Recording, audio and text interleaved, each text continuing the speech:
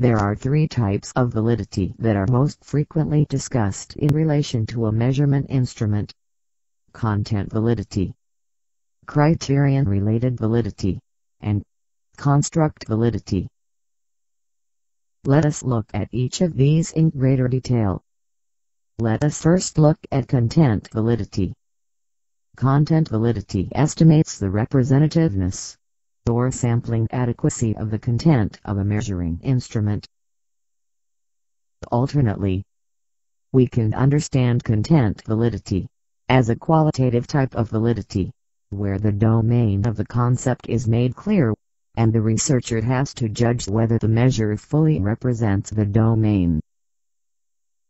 Content validity of a measurement instrument is always guided by a judgment does the content of the measure represent the universe of content of the concept being measured?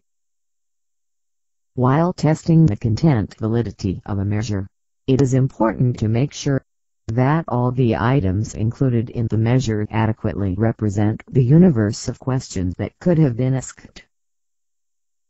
In other words, it is important to make sure that the items of the measure tap the meaning of the concept that is under consideration.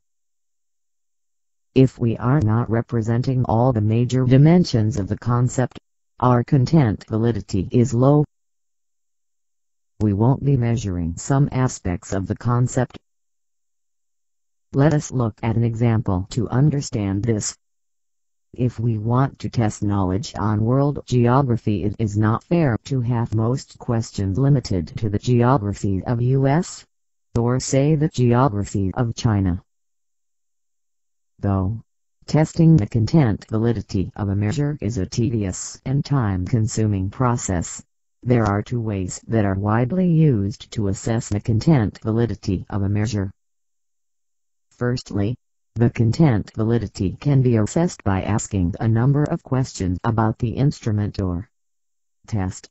And secondly, the content validity can be assessed by asking for the opinion of expert judges in the field. One of the limitations of content validity is that there exist many concepts for which there is no consensus on the theoretical definitions, mainly because the domain of content is ambiguous. For these concepts, it is difficult to establish content validity.